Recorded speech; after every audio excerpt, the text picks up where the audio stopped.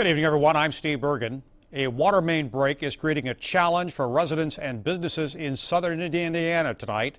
WLKY's Annalisa Gale is live in Jeffersonville. Steve, here in Jeffersonville on Spring Street, we know of at least one restaurant that had to close its doors due to the boil water advisory that's in effect. In effect, it's actually that restaurant that's at the corner there, but we know of thousands across southern Indiana that's also using that same caution.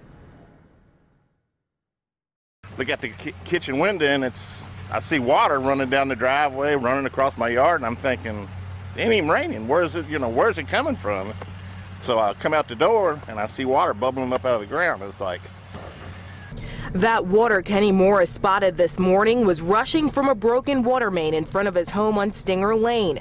Just before noon Saturday, leaders with Indiana American Water were notified about the problem. It appears to be affecting about a five foot long section of the pipe. The pipe itself is a 36 inch diameter main that serves all of the uh, water system here in, uh, in Jeffersonville and uh, Clarksville and New Albany. In his 30 years with Indiana American Water, William Reedy says this is the first time he has seen a water main break with such a large impact. Roughly 35,000 customers in Clark and Floyd counties are now being asked to boil their tap water for about three minutes before drinking and cooking with it, and also to restrict how much water they are using. In many cases that it's, it's only a street or a neighborhood that, that's affected by a water main break, but in this case, it being a transmission main, it's affecting the whole system. Morris hopes the pipe and his yard will soon go back to normal. Since he is not a customer with Indiana American Water, his water supply is not affected. Repairing the pipe could take several hours. But it's, it's likely to take a number of hours, five or six hours, to, uh, to cut out that section of pipe and replace it, so it, the work will last well into the evening. The concern is that eventually some customers could run out of water in New Albany.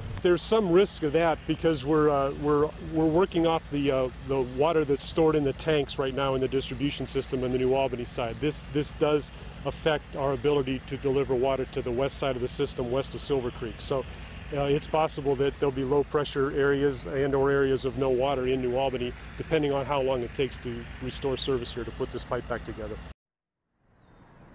Steve, the cause of the water main break has not been determined. For updates on the boil water advisory, stay with WLKY on air and online. Live in Jeffersonville tonight, I'm Annalisa Gale, WLKY.